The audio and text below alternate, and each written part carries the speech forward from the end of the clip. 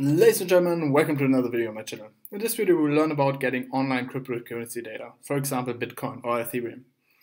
Beforehand we have to make sure we've installed the Pandas data reader module.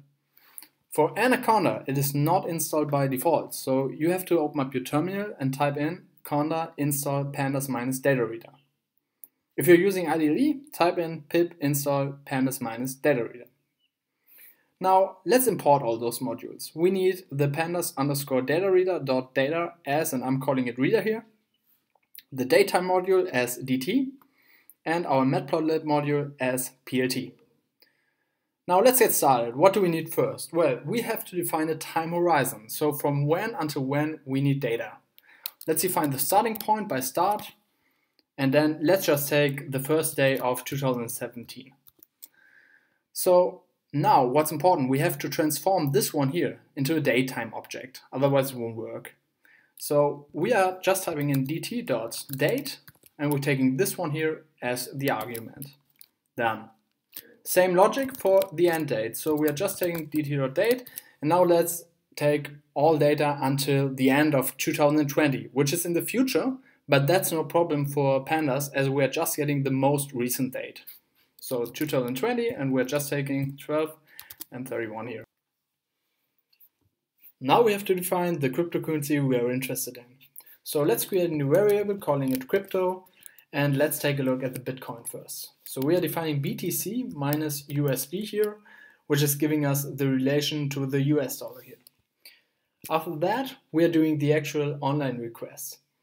And we are storing this online request in a variable, which I'm calling df. You can call it whatever you like. I'm keeping df for data frame.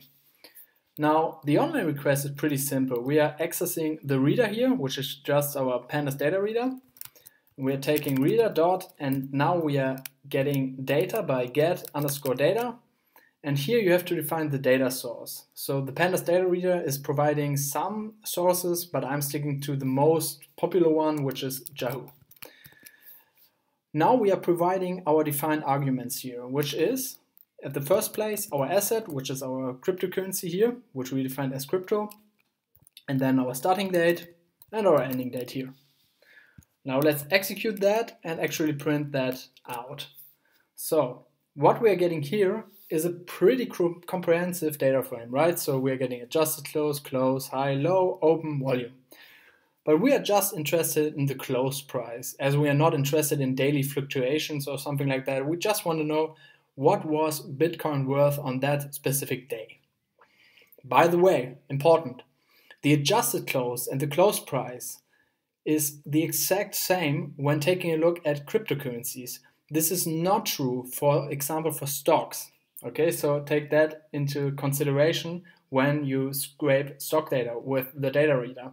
But I'm covering that, by the way, in my upcoming tutorials regarding Python for Finance. Whatever.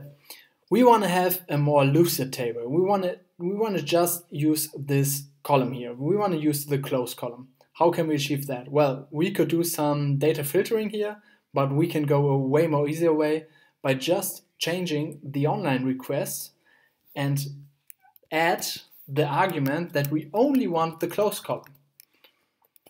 So if we are executing that, we are getting a way more lucid table containing only the prices of Bitcoins from the 1st January until today.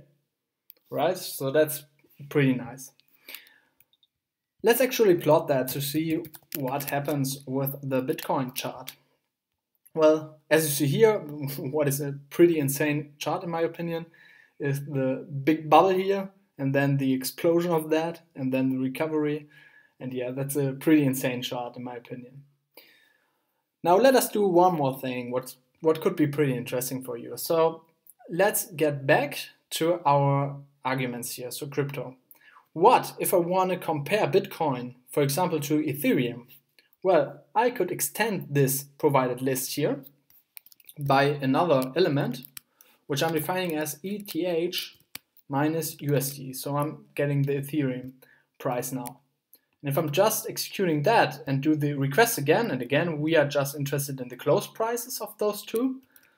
I'm getting the new data frame containing of the Bitcoin prices and the Ethereum prices here. what I also consider to be important is a look at the plot of these prices here. So if we are plotting that by df.plot, we're getting a kind of misleading chart here. So this chart could suggest that the Bitcoin was exploding even more than the Ethereum price, right? Which just did the small jump here. But this is actually not the case. The opposite is true. I did some deeper data analysis here, which I will reveal, by the way, once I have uh, 500 subscribers. If we are taking a look at cumulative returns here, we are seeing that the orange line is ETH and the blue line is BTC, so Bitcoin. We are seeing that the Ethereum price was exploding even more than the Bitcoin price, right? So take care about interpreting charts with different scales like that. Okay, this is my last advice for today. So I hope you really like this video. Um, I'm looking forward for the upcoming ones. Thank you very much for watching and of course see you next time. Bye bye.